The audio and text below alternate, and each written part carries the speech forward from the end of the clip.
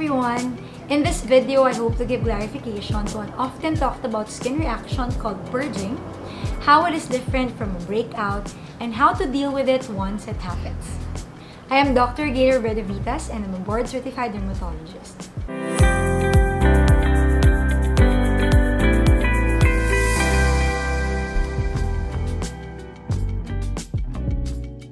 I try to post one video a week all about the skin and skincare. So if that's something you are into, I invite you to click the like and subscribe button.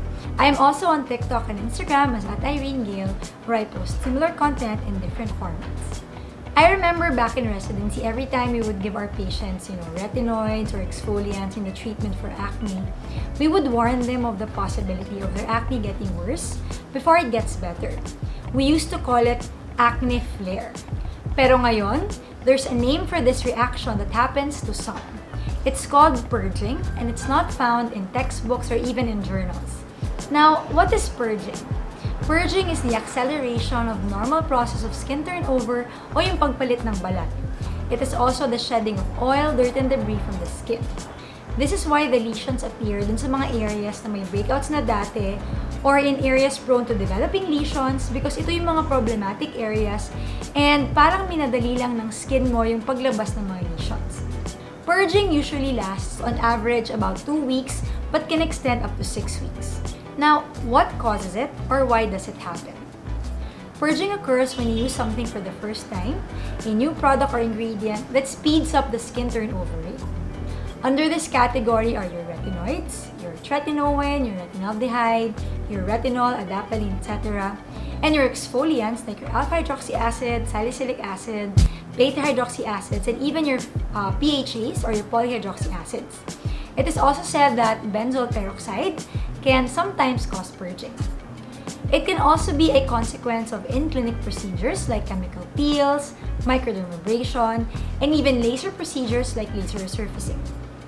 Now, how do you differentiate purging from a breakout?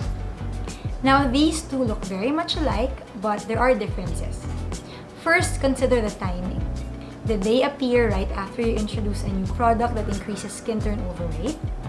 If not, then it is unlikely that what is happening is a purge. Second, consider the location. Purging often appears in areas kung saan you already have breakouts and often as clusters or sama-sama or sabay-sabay. And third, how long is the duration? Usually, lesions as a result of skin purging have a shorter duration compared to usual breakout because they're a result of increased turnover so mas madali silang mawawala compared to your normal pimple or acne lesion. So for example, if your normal pimple heals in about a week, pag lesions from purging, in 4 to 5 days, magaling na siya.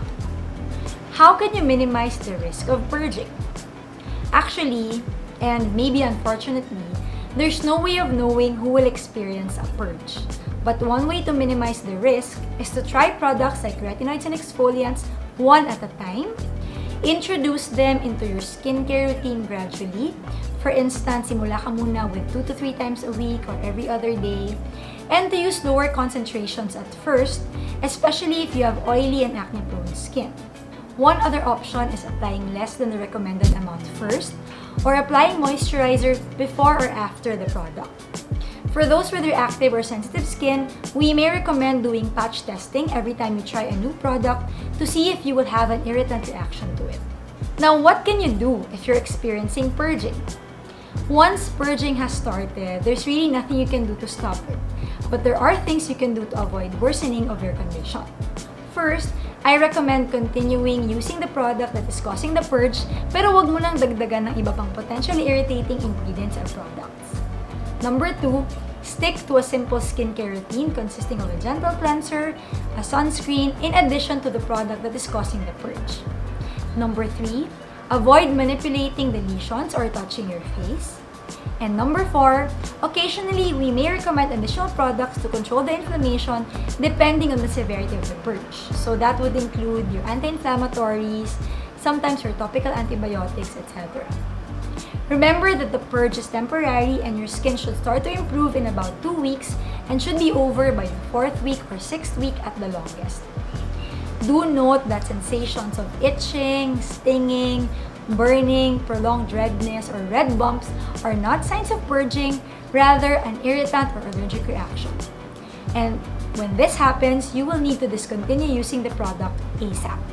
I hope that clears everything up, but when in doubt, don't hesitate to consult a skin expert like a board-certified dermatologist. So that's it. Thank you once again for watching. If you want to add, share, or ask anything, please put them in the comment section below. And if you want to support me and my channel, please do click the like and the subscribe buttons. I will see you again next time. Thanks guys. Bye.